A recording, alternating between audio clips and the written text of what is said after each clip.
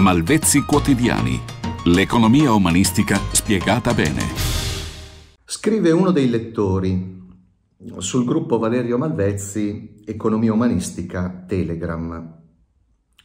Sono uno degli allievi della Casa dei Matti e posso solo semplicemente restituirvi le mie personali impressioni e sensazioni. Mi rendo conto del fatto che il mio modo di pormi davanti alle cose e alle situazioni è già cambiato. Mi fa stare meglio, mi fa vivere meglio. Ora, capita sovente di pensare di aver capito, pensi di fare bene e a un certo punto, tac, nuova lezione, come l'ultima. Ma porca miseria, questa non ce l'ho. L'introspezione monetaria. Non avevo capito, non avevo considerato. Sono ancora legato al mio ego. Osservo, sì, ma non abbastanza. Sono di nuovo a zero. Beh, posso dirvi che quando cominci a farti queste domande, cominciate a farvi queste domande, state cambiando il modo di vedere voi stessi e quel che vi circonda.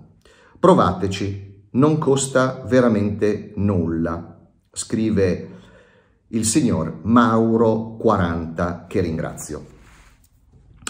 Ora, questo messaggio viene scritto sul gruppo Valerio Malvezzi Economia Umanistica Telegram, dove io parlo appunto di economia umanistica e poi da lì si entra, se si vuole, in una scuola che appunto si chiama la Casa dei Matti. Questo signore, che fa parte di questa scuola, quindi dice che sta vedendo le cose in modo diverso. Ora, certo, il modo di fare dei matti è diverso e ci sono tante ragioni per cui ho chiamato la mia scuola di economia umanistica la casa dei matti. Intanto casa perché l'economia è la scienza della casa, ma una particolare tipologia di casa, mi riferisco alla definizione di Aristotele, ma una particolare tipologia di casa che è quella appunto dei matti. Io proprio ieri in biblioteca restituivo un libro che ho riletto, che è il Moria Encomium di Erasmo da Rotterdam, Desiderius Erasmus Rotterdamus, in cui appunto si parla dell'elogio della follia.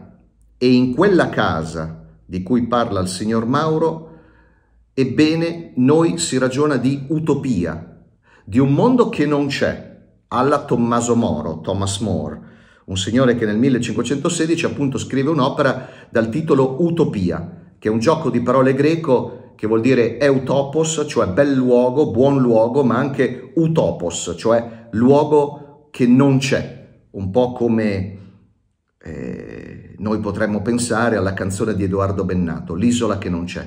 Bene, se volete venire nell'isola che non c'è, come il signor Mauro 40 che ringrazio, vi invito sul gruppo Telegram Valerio Malvezzi, Economia Umanistica. Buona economia umanistica. Malvezzi quotidiani. L'economia umanistica spiegata bene.